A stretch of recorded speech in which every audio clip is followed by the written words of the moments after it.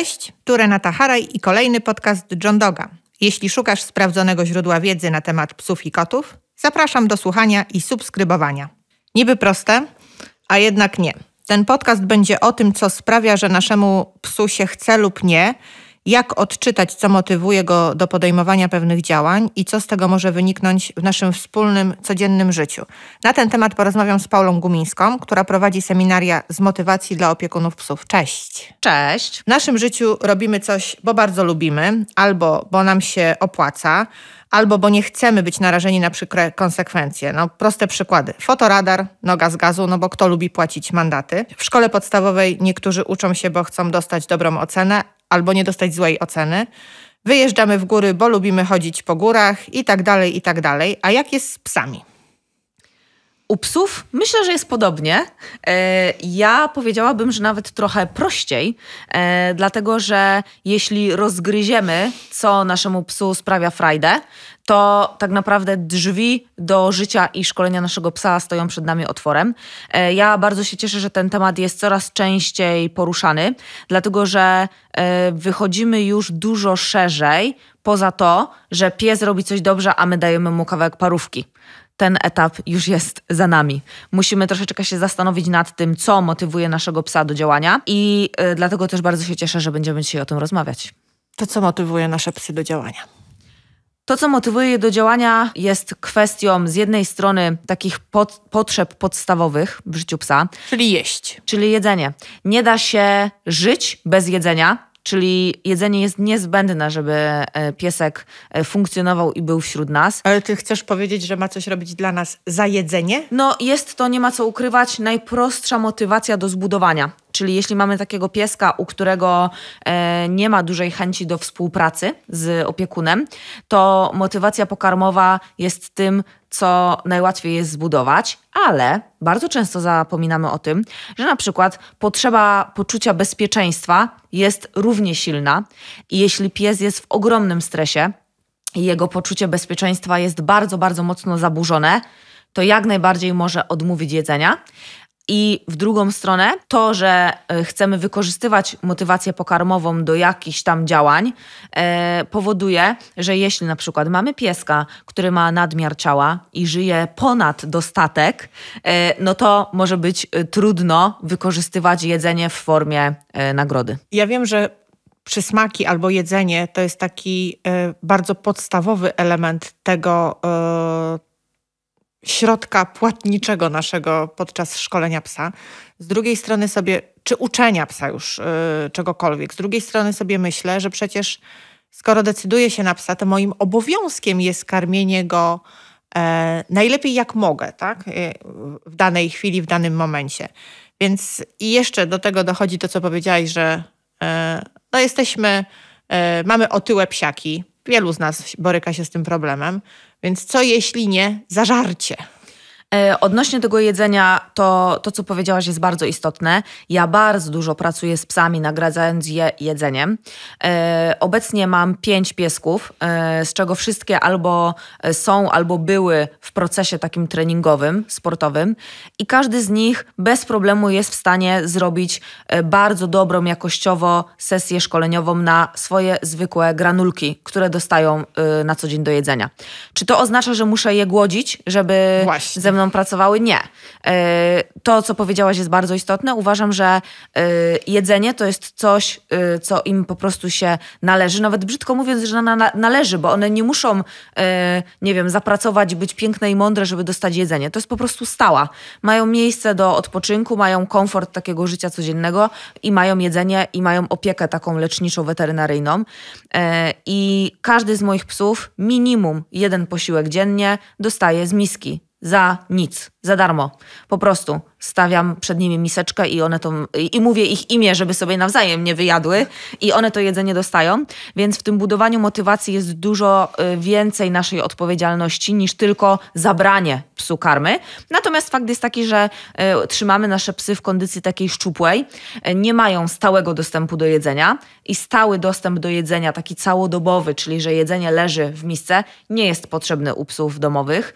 Wręcz powiedziałabym, że nie do końca na przykład nadwaga, czy to, że karmimy psa z miski, to nie jest wróg motywacji, ale stały dostęp do jedzenia to jest dosyć nienaturalne dla psa. U kota jest to naturalne, że on może sobie przychodzić i podjeść, natomiast psy tego nie potrzebują nawet już pod kątem takim trawiennym, jak są względnie stałe pory posiłków, oddalone od siebie o określoną liczbę godzin, to to jest ok, zdrowotnie to jest dla psa jak najbardziej w porządku. Ja w to budowanie motywacji pokarmowej wkładam bardzo dużo energii. Bardzo próbuję się mocno zastanowić nad tym, w jaki sposób mogę psu w sesji szkoleniowej wydać to jedzenie, żeby mu się to podobało. Trochę robimy z tego taką wspólną zabawę w polowanie na te kąski. Czyli to nie jest tak, że pies musi być głodny i zrobić coś dla nas, żeby dostać posiłek, Powiem tobie inaczej, ja często nawet wiedząc, że mamy trening za 2-3 godziny, one rano normalnie dostają yy, pomniejszoną oczywiście porcję jedzenia, żeby ten bilans kaloryczny się zgadzał. Tak samo przed każdymi zawodami yy, normalnie rano dostają swoje śniadanie. Czyli nawet praca na bardzo dużym głodzie będzie negatywnie wpływała na obraz tej pracy w niektórych sportach, w niektórych sesjach, dlatego że pies po prostu będzie walczył o przetrwanie i będzie próbował zabić głód, a nie będzie wyciągał wniosków i nie będzie się w tej pracy czuł komfortowo. Czyli jeśli dobrze zrozumiałam, nie polecasz e, takiej motywacji, że pies walczy o posiłek. Robi e. coś dla ciebie, bo jest tak głodny, że on wszystko zrobi, bo chce jeść dostać. E, nie, powiedziałabym, że jeśli zdarzyło mi się stosować taka, takie wydzielanie jedzenia. Y, to jest też popularnie nazywane spaleniem miski, czyli y, pies dostaje jedzenie tylko i wyłącznie za pracę. Zdarzyło mi się kilkukrotnie w życiu moim trenerskim i prywatnym coś takiego zastosować, ale zawsze było to wyjście tylko mocno tymczasowe. Nigdy to nie jest sposób na życie z psem. To jest taka motywacja, rozumiem, wewnętrzna, taka instynktowna. No, no pies musi jeść, żeby żyć, tak? Ale rozumiem, że jeszcze są te motywacje nagroda i niekoniecznie w postaci jedzenia to musi być nagroda, czyli mamy tą przysłowiową marchewkę, ta dobra ocena, tak? I ten przysłowiowy kij, czyli jadę za szybko, będzie mandat, jeśli y, jest fotoradar w pobliżu. Czy takie motywacje również stosuje się w pracy z psami? Czy stosuje się, to myślę o tym, że wiesz, że stosuje się wszelkie motywacje, bo unikanie dyskomfortu, e, poczucie ulgi, też mogą być bardzo silnymi motywacjami. E, jeśli pytasz mnie o e, moje prywatne zdanie, to ja żyję z pięcioma psami, które są bardzo pobudliwe i e, oczywiście w domu są spokojne i sobie śpią, natomiast no, są też przygotowane do takich dyscyplin sportu, gdzie pewien poziom pobudliwości, który dla normalnego człowieka jest problematyczny, dla nas, dla nas jest pożądany. I na co dzień rzeczywiście zdarza się tak, że y, są takie sytuacje, kiedy na przykład ich bezpieczeństwo jest po prostu zagrożone, albo bezpieczeństwo drugiego naszego pieska czy innego człowieka, i są sytuacje, w których y, wymagam jakiegoś zachowania i rzeczywiście nie zastanawiam się wtedy, czy psu bardzo się też w tym momencie chce robić to, o co ja go proszę. Ale ja wychodzę z założenia, że trening jest dla psa. I w momencie, kiedy wchodzimy w kontekst treningowy, w sytuację sportową, Owszem, dla mnie to jest mega istotne i tak jak y, mamy kontakt z psimi sportowcami, też pewnie masz kontakt z takimi osobami, to wiesz, że y, no, może świat się nie interesuje tym, czy nasz pies nie strącił tyczki na torze, ale dla kogoś w ten dzień, w tym momencie to jest jedna z najważniejszych rzeczy w jego życiu, że jego pies nie strącił tyczki ale cały czas z tyłu głowy staram się mieć to, że to, jest, to ma być dla psa, to ma być dla nas przyjemność i yy, nie sądzę, żeby było konieczne przymuszanie go do takiego działania. Yy, I na dodatek, w zależności od tego, jakie metody stosujemy, do jakich ćwiczeń, do jakich elementów szkolenia psa, to musicie pamiętać o tym, że w obrazie pracy tego psa później, w wyrazie jego yy, emocji, jego zachowania, bardzo widać, w jaki sposób to zachowanie zostało uzyskane.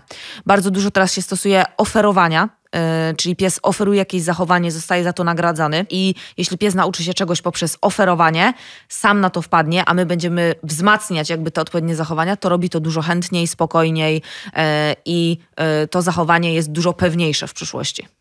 Ja myślę, że w, tych, y, w przypadku psów pracujących, czy sportowych, czy pracujących y, w innych obszarach, dziedzinach, to w ogóle rozmowy na temat i zastanawianie się nad tym, co motywuje y, danego psa, jest takim chlebem powszednim i, i to po prostu jest trochę inny level zupełnie myślenia o motywacji psa, ale mamy też całą grupę e, opiekunów psów i takie codzienne zachowania, taki co zrobić albo jak zrobić, myśląc właśnie o motywacjach, żeby sobie wypracować fajne przywołanie czy odwołanie, no bo wiesz, pies powiedzmy idzie luzem, e, coś jest atrakcyjnego, ja chcę go przywołać i teraz jak wykorzystać motywację psa, żeby żebym się stała dla niego bardziej atrakcyjna, bo wolałabym, żeby on do mnie przyszedł nie dlatego, że się boi y, i, i zrobił to ze strachu, że czeka go kara, tylko żeby przyszedł właśnie, żeby motywowało go coś innego, coś fajnego. Idzie, bo jestem najfajniejszą pancią na świecie i ona go woła, więc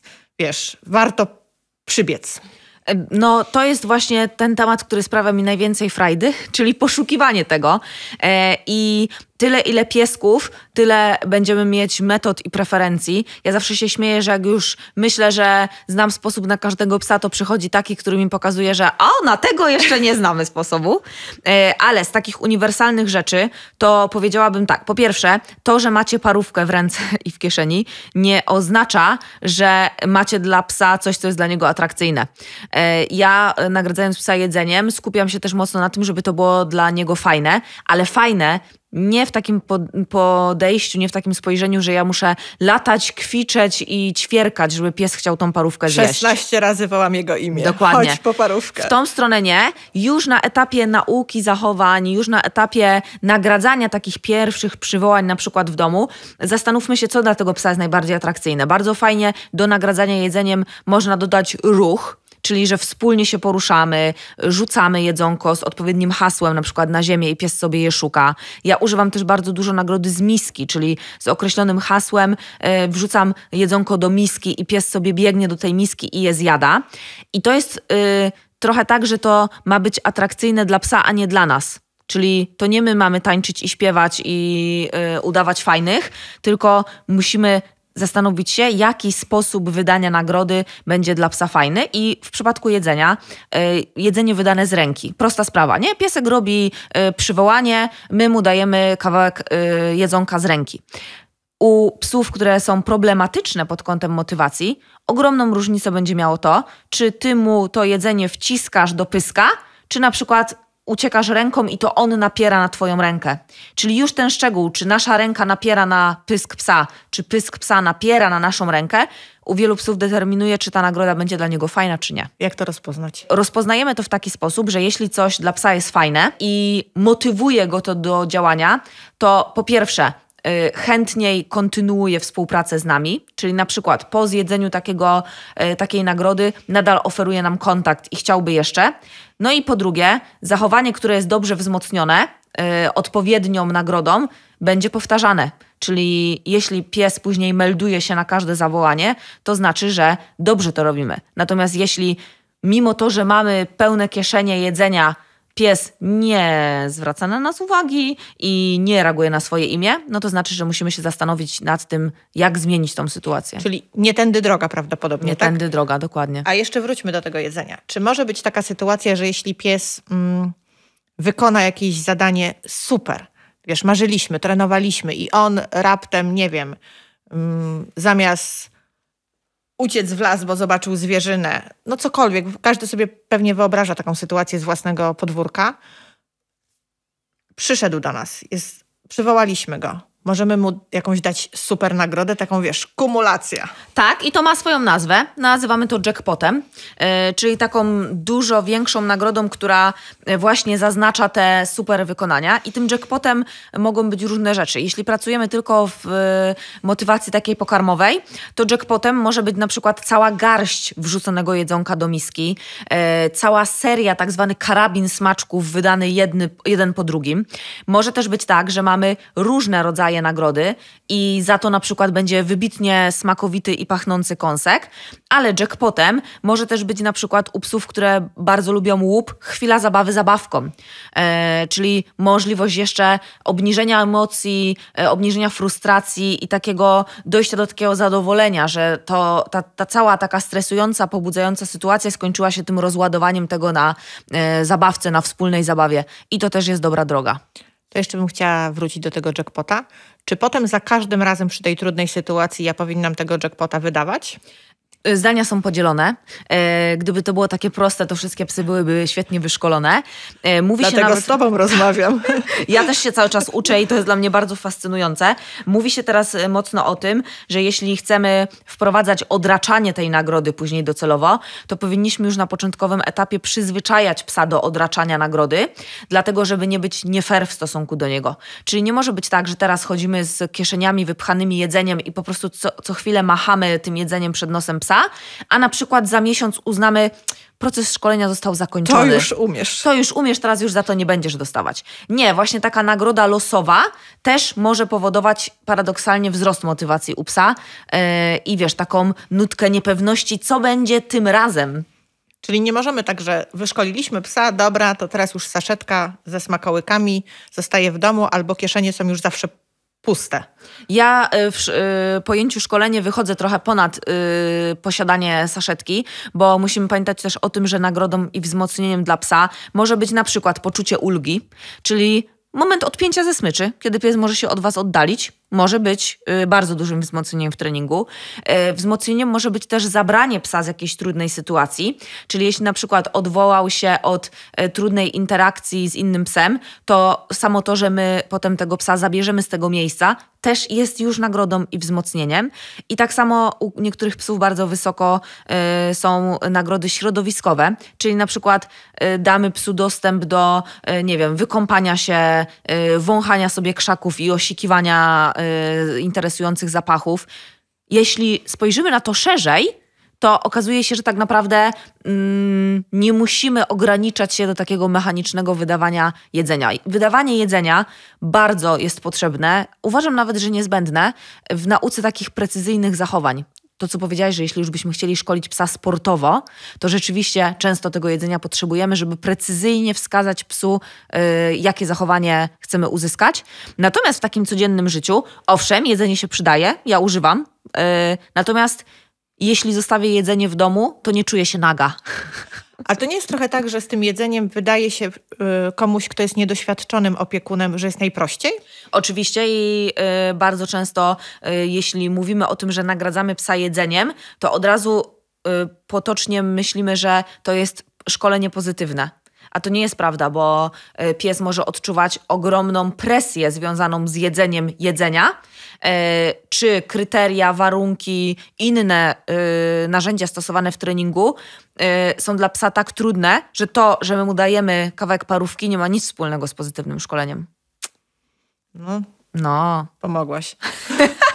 Bardzo, tak. A powiedz, Paula, bo jeszcze się zastanawiam, wydaje mi się, że pies powinien wiedzieć, że ja go w danym momencie nagradzam. To powinna być jakaś komenda, Y, no bo y, jak mówiłaś szczególnie o tych takich motywatorach wewnętrznych, dla mnie trochę związanych z rasą, bo nie każdy pies będzie lubił się kąpać w wodzie, tak? Dla kogoś to będzie przerażające. Albo nie każdy pies, nie wiem, będzie chciał e, godzinami coś tam obwąchiwać, ale są rasy, które będą w tym, są zakochane w takich, e, tak. e, w takich e, działaniach. I teraz, czy on powinien wiedzieć, że to jest właśnie nagroda? Teraz słuchaj, super zrobiłeś, super pies, biegnij się wykąpać.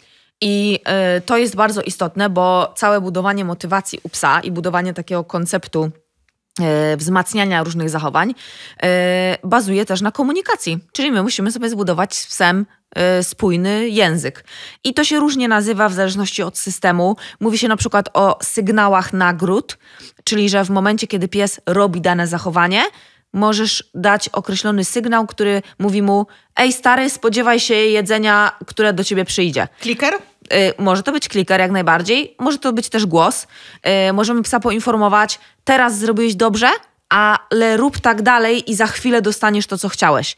Więc to zbudowanie komunikacji będzie bardzo istotne i ja przy psach, które mają bardzo słabą motywację do współpracy z człowiekiem, yy, są potocznie nazywane psami, które są, nie wiem, leniwe, rozpraszające się. A może niezależne? Niezależne, tak. Yy, uważam, że to zbudowanie komunikacji jest yy, obowiązkiem yy, przewodnika, obowiązkiem opiekuna psa, dlatego że naprawdę pies lubi wiedzieć, co się dzieje. Czyli to są takie trochę podstawy.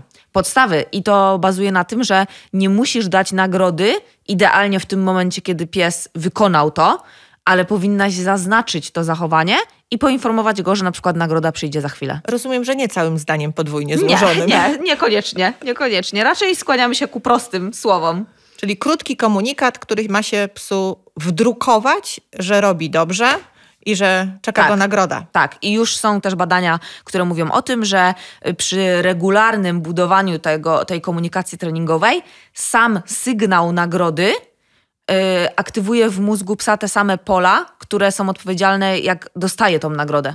Co sprowadza się do tego, że tak, przy psach, które mają to zbudowane, możemy psa nagradzać samym słowem. To kilka podpowiedzi. Na pewno super pies. Na pewno takie rzeczy, które mówimy cywilnie, jak najbardziej. Super, dobrze, świetnie. Ja w ogóle bardzo dużo mówię do psów, więc mam e, re- pełen repertuar takich sformułowań.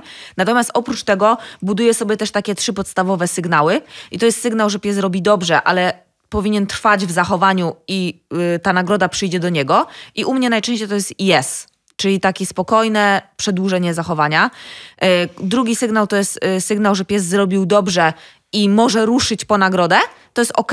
Czyli na przykład powiem siad i on usiadł, mu, mogę mu powiedzieć, że jest i będzie sobie siedział dalej i czekał, aż do niego nagroda przyjdzie. A jeśli powiem ok, to on pomyśli sobie, o, zrobiłem dobrze, mogę ruszyć po nagrodę.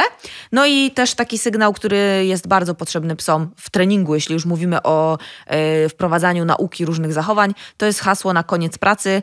E, u mnie to jest koniec albo biegaj, które oznacza, że po tym haśle pies ma wolne i może robić co chce. I Ja to, mówię leć. tak, no i super. E, I to też powoduje, że e, nie robi nam się z psa maszynka, która 24 godziny na dobę musi być w trybie pracy, tylko pies ma bardzo dużo momentów e, w ciągu każdego spaceru, kiedy sam załatwia sobie sprawy, na które ma ochotę. Czyli mamy trzy komendy przynajmniej, tak? Tak. Taka komenda, zrobiłeś dobrze, jest Rób nagroda. tak dalej, tak. A y, to jest ta druga, tak? Zrobiłeś dobrze, rób tak dalej, trwaj w tym. Tak. Zrobiłeś dobrze, sięgaj po nagrodę. Tak, możesz ruszyć wtedy Tak. też z pozycji. I skończyliśmy pracę, jesteś wolny. Tak? Dokładnie, tak. Uczymy czegoś naszego psa, tak? Ciągle wracam do tych takich nie psów e, sportowych, tylko do tego codziennego życia e, opiekunów. Trenujemy z nim i, i chcemy, żeby on zawsze, z tym naciskiem na słowo zawsze, rozumiał, czego od niego oczekujemy. I mamy sytuację, gdzie po jakimś czasie nagle nasz pies zachowuje się jakby w ogóle tej całej historii nie było. I tak się zastanawiam, o co chodzi. Czy przestała być ta nagroda już atrakcyjna? Czy yy, może zapomniał, wiesz, umiał, ale już nie umie. Yy, a może za mało powtarzaliśmy i to nie jest wdrukowane. A może wszystko naraz? Pies uczy się całe życie. Więc e, prawdopodobnie w międzyczasie nauczył się czegoś innego. E, My się zawsze śmiejemy wśród znajomych, którzy mają większą ilość psów, który pies ma najgorsze przywołanie z twojego stada. Zawsze najstarszy. Dlatego, że właśnie w e, przeciągu życia te psy, one naprawdę cały czas wyciągają wnioski. I jeśli, no chociażby pod kątem tego przywołania, mamy kilka piesków, dołącza szczeniak, ze szczeniakiem wiadomo, trzeba ćwiczyć, on się musi nauczyć. No i nagle na przykład przy tym przywołaniu zawsze ten starszy pies zostaje, że tak powiem, odsunięty na boczny tor, nawet nasza uwaga nie jest na niego skierowana, to są nawet takie psy, które na przywołanie reagują wyłączeniem się, wygaszeniem, odejściem, zdystansowaniem się, bo tak źle im się to zaczyna kojarzyć. Więc y, musimy pamiętać, że pies uczy się całe życie i tak samo jak y, coś wzmocniliśmy, jakieś zachowanie, tak samo możemy to zachowanie wygasić albo wzmocnić inne i to jest naturalne. Psy na przykład nie rodzą się z tym, że dzwoni dzwonek do drzwi, a one szczekają. One się tego nauczyły y, w, w ciągu życia. Tak samo wiele psów na przykład reaguje na otwieranie lodówki czy pojemnika z karmą. To też nie jest coś, z czym przyszły na świat. E, nauczyły się tego drogą doświadczeń. I tak One samo. nie słyszą imienia, ale lodówkę tak. Tak, dokładnie. I tak samo mogą się niestety nauczyć w tą drugą stronę, czyli coś, co było już nazwane. E, mówi się o tym, że możemy spalić jakąś komendę, czyli ta komenda po prostu nabrała w pewnym momencie hasło, komenda, e, nasza komunikacja nabrało innego znaczenia. Jak to odkręcić? Bardzo często wymaga to zmiany tego hasła i e, nauki od zera. Trochę to daje nawet nadzieję, bo wiesz, jeśli y, mam dorosłego psa, to oznacza, że ciągle go mogę tego wszystkiego nauczyć. Tak, jeden z moich psów to jest e, suczka adoptowana w wieku trzech lat e, i Tak, możemy. Oczywiście nawyki, które wcześniej zostały nauczone i wdrukowane, są bardzo silne. Natomiast to nie jest tak, że jeśli nasz pies ma kilka lat i wiemy, że popełniliśmy wiele błędów, to sytuacja jest przegrana. Wbrew pozorom nie. I ja na przykład bardzo lubię pracować z psami, yy, które mają złe doświadczenia. Pracuję dużo z psami, które były szkolone bardzo różnorodnymi metodami, niekoniecznie dobranymi do danego psa. Mam bardzo dużo do czynienia z psami po adopcji, z psami, które mają nawet bardzo ciężkie przejścia za sobą sobą i ja lubię y, z takimi psami pracować, lubię ten proces otwierania i pokazywania im troszeczkę świata na nowo. Podpowiedź dla takich właśnie y, opiekunów tych y, psów, być może z, jakim, z jakąś historią dorosłych. Od czego byś zaczęła? Znowu od tego samego, czyli od poznania swojego psa. Naprawdę, jak zaczniemy się zastanawiać, co nasz pies lubi, co mu sprawia przyjemność, czego unika, to połowa sukcesu jest za nami. Bardzo wiele opiekunów psów nie zna swoich psów i no, ja często na przykład na warsztatach zadaję pytanie, e, podaj mi trzy hasła jakieś na jakieś zachowania, które lubi twój pies. No i yy, ktoś na przykład mówi siad, a przed chwilą pies trzy razy na ten siad nie zareagował. Siad to jest jedna z najtrudniejszych komend dla yy, dużej części psów. Yy, albo czy jesteś w stanie na przykład podać listę pięciu zabawek, które twój pies najbardziej lubi w kolejności, yy, jak, yy, która, jakie, jaką ma wartość? No, moja droga, to są w ogóle, zaczynam pisać. No, dokładnie. To konkretne podpowiedzi. Tak. Ale wróćmy do tej pierwszej, czyli nazywasz komendy, tak? E, zachowań. Ja lubię nazywać zachowania, dlatego że przy psach, które później mogą mieć w trudniejszych warunkach problem, albo my mamy problem z utrzymaniem konsekwencji, nie wiem, stałości kryteriów, to to, że my coś nazwaliśmy, paradoksalnie pomaga często psu. Często jest tak, że później jak on usłyszy to znane hasło, to mówi, a no przecież ćwiczyliśmy to ostatnio i dużo łatwiej wchodzi na przykład w kontekst treningowy. Czyli po prostu komunikujmy się z psem językiem tak. dla niego zrozumiałym. Tak, psy nie rozumieją polskiego. Nie, one mają swój język. No co ty? E, każdy opiekun ci powie, że świetnie się... Że świetnie, tak, tak wszystko tak. rozumie. E, psy bardzo dużo też mówią do nas i jak się trochę nauczymy czytać te komunikaty, które nam wysyłają, to i właśnie poznamy psa i nauczymy się, co on nam próbuje powiedzieć swoim zachowaniem, to naprawdę to jest połowa sukcesu. Czyli nazywamy zachowania, które nam się podobają, nagradzamy te zachowania niekoniecznie jedzeniem, tak? ale wydając nagrodę też pies musi wiedzieć, że dostaje nagrodę. Czyli też zaznaczamy ten moment wydania nagrody. Wydania bądź ten moment, kiedy zrobił coś dobrze i jakby doprowadza nas Nagroda przyjdzie. Tak, nagroda przyjdzie. No. To jeszcze chciałabym wrócić do tej motywacji w obawie o, no bo to też z życia takiego naszego ludzkiego, no wiesz, no nie wiem, sprzątamy pokój jako dzieci, bo nie chcemy, żeby mama marudziła na przykład, tak? Albo chowamy Y, brudne naczynia do zmywarki, bo też nie chcemy, żeby tam partner czy partnerka, o Jezu, znowu zostawiłeś te naczynia. Czy w ogóle w tą stronę powinniśmy iść z naszymi psami, żeby też czasem robiły coś, bo nie chcą, żeby się coś wydarzyło? Czy to zupełnie jest ta droga niepozytywnego szkolenia i lepiej nie iść tą drogą. Ja myślę, że yy, mimo wielkich chęci nie jesteśmy w stanie się od tego odkleić całkowicie, bo zobacz chociażby takie reakcje psów na co dzień na spacerach. Mój pies się rzuca na inne, a on się bardzo często rzuca właśnie dlatego, yy, żeby odsunąć tamtego psa, czyli ma tak dużą niechęć do tego, żeby doszło do interakcji, że jakby chęć uniknięcia tej interakcji tak naprawdę go motywuje do jakichś Działania. działań. E, no i myślę, że na co dzień to jesteście w stanie sami sobie znaleźć bardzo dużo takich przykładów. W przypadku psów wrażliwych, e, to w przeciągu takiego nawet życia codziennego w domu, e, bardzo wiele psów, no nie wiem, na przykład wyciągamy odkurzacz z szafy, a pies ucieka pod łóżko, dlatego że chce uniknąć konfrontacji z odkurzaczem. Więc myślę, że utopią byłoby sądzić, że jesteśmy w stanie całkowicie wykreślić to z życia psa, ale jeśli Y, chcielibyśmy się pokusić o to, żeby pies wykonywał nasze polecenia. Y, I kiedyś mówiło się o tresurze psa, teraz już się nie mówi o tresurze nie, psa, tylko. Zakazane słowo. Tak, o szkoleniu. Natomiast wszystko, y, jakby co zmierza do tego, że mamy względem psa jakieś większe oczekiwania, to mm, po pierwsze, oczywiście y, musimy, y, to co powiedzieliśmy, już poznać naszego psa, ale myślę też, że taka świadomość metod, jakie stosujemy, też jest bardzo istotna, bo już zobacz chociażby to, co powiedzieliśmy że e, ja powiedziałam tutaj, że to, że dajemy psu parówkę, niekoniecznie jest pozytywnym wzmocnieniem.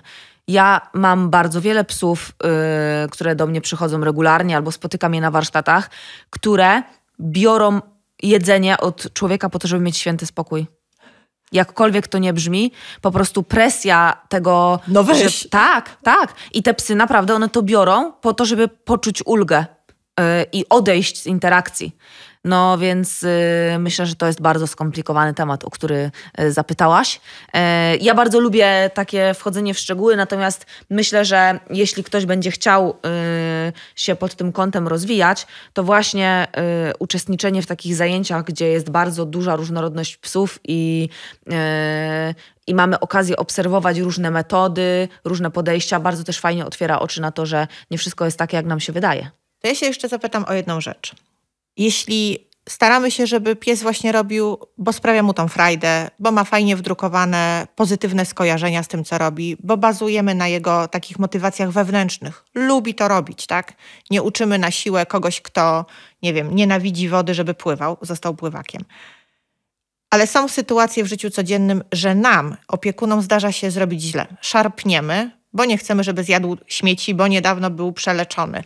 Albo, nie wiem, szarpniemy go, mam, mieliśmy gorszy dzień. Jak radzić sobie z tą własną frustracją? Wiesz, przychodzę do domu i jestem zła na siebie, bo zrobiłam coś podczas spaceru. Krzyknęłam, szarpnęłam smycz. Jak sobie z tym radzić? I potem patrzę na to moje biedne stworzenie i sobie myślę, ty w ogóle nie jesteś temu winny, to ja jestem winna. Myślę, Czy... że nie ma opiekuna psa, który by się z tym nie spotkał. Nie ma trenera, który na. Jeśli ktoś jest praktykiem i prowadzi dużo treningów, to nie ma trenera, który. Yy, nie ma w swojej historii treningów, z których nie jest zadowolony. E, ja znowu nie czuję się specjalistką w dziedzinie, e, jak sobie z tym, w sensie jak my sobie powinniśmy z tym poradzić. Ja mogę tylko powiedzieć, że ja zawsze się staram to przekuć w działanie.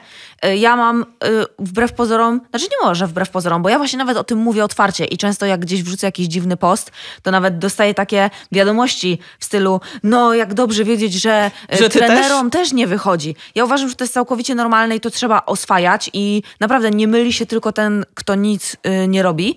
I ja do tego podchodzę w taki sposób, że ja to zawsze przekuwam w działanie. Y, czyli jeśli zdarzy mi się taki trening, kiedy nie jestem dumna ze swojego zachowania, y, zdarzy mi się taki spacer, kiedy nie jestem dumna ze swojego zachowania, to po prostu po pierwsze od razu to przekuwam w planowanie kolejnych sesji i kolejnych spacerów, tak żeby no brzydko to za, zabrzmi, ale wynagrodzić psu to, co się wydarzyło. Po prostu mówię, no dobra, yy, tak było źle, że po prostu no, nie jestem dumna z tego, jak zareagowałam. To jest gdzieś tam moja słabość. No to muszę zaplanować kolejne działanie tak, żeby było lepiej. Yy, I po drugie, ja już się też nauczyłam odpuszczać. Y, czyli jak y, mam taki trening albo taki spacer, kiedy zabrnę, Y, w jakieś właśnie taką pętlę w stylu pies coś nie robi, ja się denerwuję, nawet jak słodko się uśmiechasz i dajesz paróweczki, to pies nie jest głupi i wie, że jesteś zdenerwowana. Y, wyleczyłam się z kończenia na, do, na dobrym powtórzeniu nie muszę kończyć treningów na dobrym powtórzeniu, nie muszę docisnąć tego treningu, bo bardzo często na ten moment zdarza mi się spacer na przykład, czy trening skończyć tym, że po prostu mówię koniec, zapinam psa na smyczkę i po prostu yy, jakby zastanawiam się, co zrobić następnym razem, a nie muszę ten, tego jednego razu dobrnąć do jakiegoś, nie wiem, super wykonania. Czyli musimy sobie pozwolić na to, żeby czasami nie być tym Oczywiście, perfekcjonistą. Że tak. Oczywiście, jak sobie na to nie pozwolimy, to zdradzę wam tajemnicę, nigdy i tak nie zostaniemy wtedy perfekcjonistą, bo nie będziemy próbować. Czyli nie udaje nam się, zastanawiamy się, co zrobić, żeby następnym razem się udało. E, pies, który był perfekcyjny w jakimś działaniu, e, ma prawo któregoś razu tego nie zrobić. I oprócz metod szkoleniowych, to on ma też po prostu prawo, dlatego że jest żywym organizmem i może go na przykład coś boleć, może go na przykład boleć ząb, albo może go boleć brzuszek.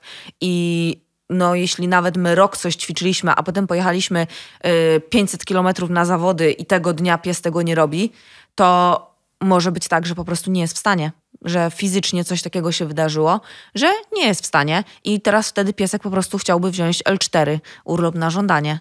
I też ma prawo. Ale to jest też taki fajny sygnał, bo może to jest dla nas e, czerwona flaga. Przyjrzyjmy tak. się, dlaczego tego faktycznie nie zrobił, skoro byliśmy no pewni w 100%, że to Tak. mamy wypracowane. Tak, i ja y, niestety już mam takie doświadczenia, y, ponieważ jedna moja suczka miała problemy z kręgosłupem w trakcie swojej kariery sportowej i miałam takie zawody agility, gdzie z toru zeszłam y, niosąc ją na rękach, a potem rycząc w namiocie, bo po prostu nic mi nie szło na tych zawodach i ona szczekała na mnie, nie wchodziła w slalom, nie chciała hopek robić. I ja wiem, że dla kogoś to brzmi naprawdę jakbym była chora psychicznie.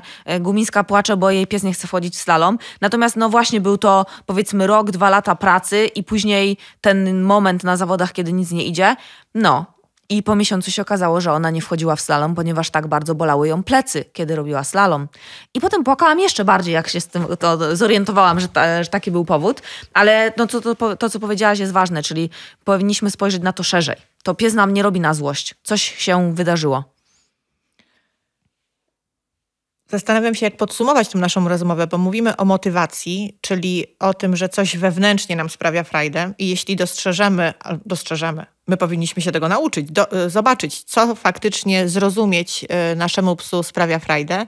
Tutaj to jak mantra na każdym chyba podcaście po, podpowiadamy, że poznajmy rasę. Tak. Y, Ja mam takie podsumowanie, jeśli o to chodzi. Y, Po pierwsze, y, moim podsumowaniem jest to, że często też, nawet w tych podcastach też pytamy o to, no to co można zacząć robić, od czego zacząć przygodę tam z aktywnością, Tak. ze szczeniakiem. Właśnie od budowania motywacji. To nie jest zmarnowany czas. Y, My uczymy psy zdobywać jedzonko w treningu, uczymy je bawić się zabawką, uczymy my się z nimi bawić i wspólnie polować na jedzonko, uczymy się, y, co motywuje naszego psa, a naszego psa uczymy, co możemy fajnego mu zaproponować w zamian za pracę. I ja mam e, mocno e, e, w to wierzę, że takie, takie około rok pierwszy życia psa to jest moment, kiedy inwestujemy w to, z czego później będziemy korzystali. Czyli my sobie taką walutę wypracowujemy. Tak, budujemy sobie taką bazę, takie fundamenty, z których później korzystamy. Nawet jak mamy psa z naturalnymi popędami, to i tak ten pierwszy moment to jest y, budowanie tego, dlatego że nie da się kontrolować czegoś, czego nie ma. Czyli jeśli pies nie ma motywacji, nie ma popędów, nie chce z nami pracować, to nie damy rady tego kontrolować. Może zupełnie nie mieć motywacji? Może.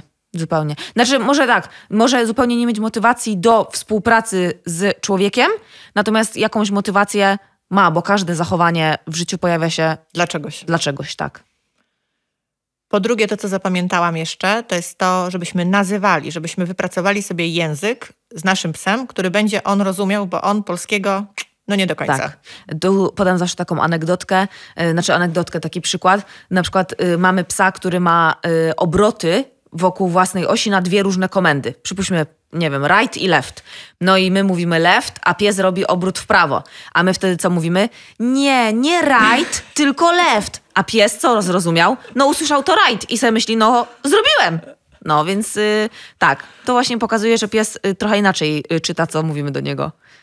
I pamiętajmy, że teraz mnie rozbawiłaś, że pies się uczy całe życie. Tak. Że nie ma tak, że jeśli z jakiegoś powodu przez pierwszy okres jego życia, nawet kilku lat, nie było tej pracy, to że teraz już jest stracone. Nie. Tak. Jesteśmy Nie. w stanie go wszystkiego tego nauczyć i będzie się i jemu, i nam w sumie lepiej żyło, bo lepiej się żyje z kimś, kogo rozumiemy. Dokładnie tak. Całe życie mamy na to i y, też nie zwalnia nas to z obowiązku y, w przypadku psów dorosłych właśnie ze stosowania różnych wzmocnień i budowania różnych rzeczy. I tutaj anegdota, kto ma najsłabsze przywołanie. Tak, zawsze właśnie ten najstarszy, no.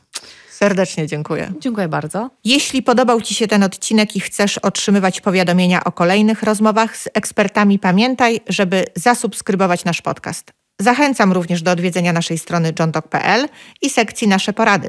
Sporą dawkę wiedzy znajdziesz również na naszym kanale na YouTubie i profilach na Facebooku i Instagramie. Dziękuję jeszcze raz i do usłyszenia w następnym odcinku.